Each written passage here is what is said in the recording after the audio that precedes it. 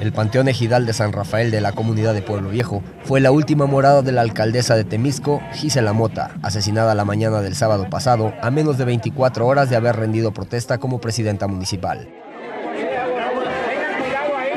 Tras un homenaje realizado por las autoridades, los pobladores acompañaron a pie el último tramo antes de llegar al Panteón Ejidal, la música de tambora contrastaba con la tristeza de familiares y pobladores que acompañaron a la primera autoridad municipal, arteramente acribillada por un comando armado de nueve individuos.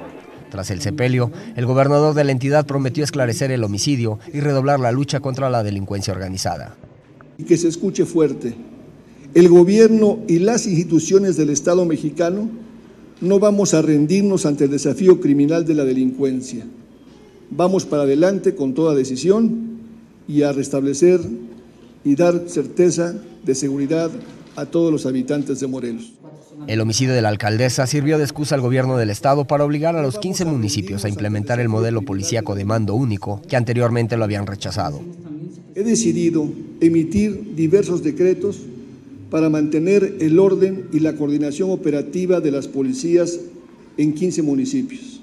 Según las primeras investigaciones del asesinato de la alcaldesa, pudo derivarse de la lucha que mantienen dos células de los cárteles de los Rojos contra los Guerreros Unidos, aunado al mensaje de toma de protesta de la alcaldesa, quien prometía luchar de frente contra la delincuencia organizada. Con información de la oficina en la Ciudad de México, Noticias Xinhua.